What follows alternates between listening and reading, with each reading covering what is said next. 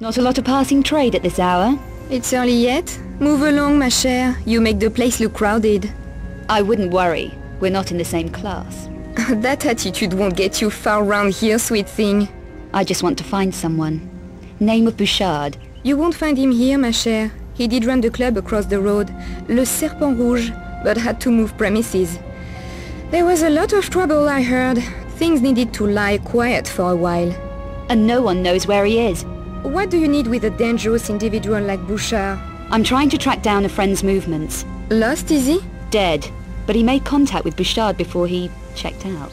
Tell you what, there's two guys who used to work at Le Serpent Rouge. So Bouchard didn't lose everybody? No. These two left before the troubles closed the place down. One's a miserable old devil called Bernard who was the janitor there. He hangs about in the park sometimes. And the other one? The other one, Pierre, worked as a barman.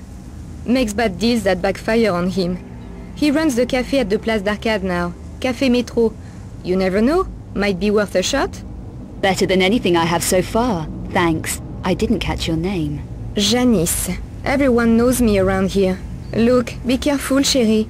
Bouchard's a mean operator, and he's been targeted hard recently. Does anyone know who's causing Bouchard all this grief, or why? No, or they're not saying. The monstrum has got everyone too scared to talk. I'd have thought Bouchard would be geared up for trouble. He can handle it all right. No one better. But the way his people has been dying, mm, so ugly. And that poor woman. What woman? Someone called Carvier. She worked at the Louvre, it says on the radio.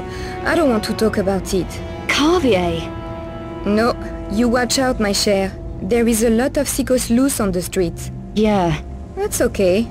Some of us like it that way.